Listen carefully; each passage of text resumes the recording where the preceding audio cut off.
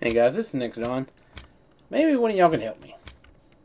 I've got the I finally got the uh, stuff up to build this reactor in my real world. I'm here in my test world. This thing was putting out somewhere around eight or nine thousand uh, energy per tick. Yeah, I drew a blank for some reason. Now it's putting out five thousand.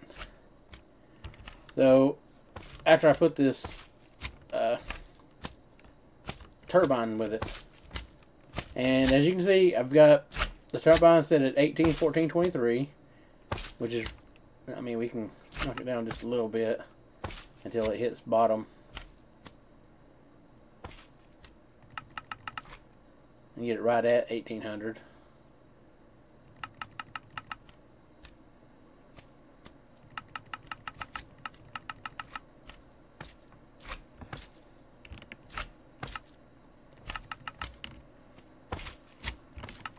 I don't think it's going to make that big a difference. See, it's going down.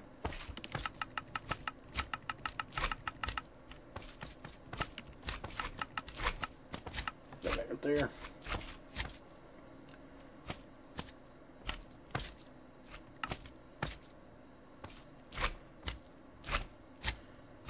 But, yeah, the power is going back up now. So, I don't. But still, it's 5,000 RF tick. When, so as you can see right here, it's taking forever to fill this thing up. Oh my gosh, I hate slime so bad. So 5,000 RF tick for, I mean, all this. And another thing is too, that's Electrum in there.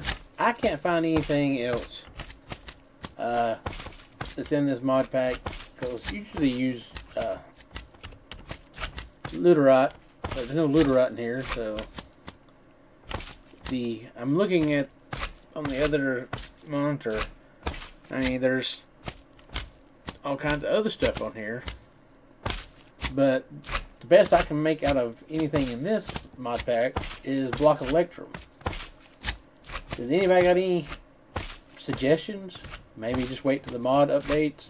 That's the most I'm ever going to get out of it. Right now is, you know, 4,700.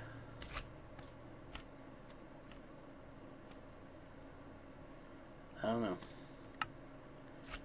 But y'all seem pretty smart about things, so I was curious if y'all had any ideas.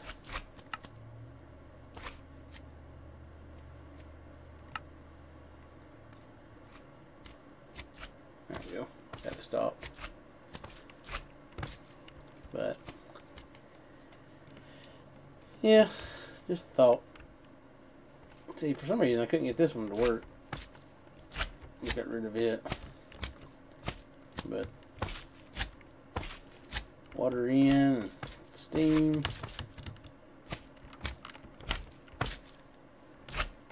But any uh, suggestions will be greatly appreciated. I'll put this out. Probably today is the seventh.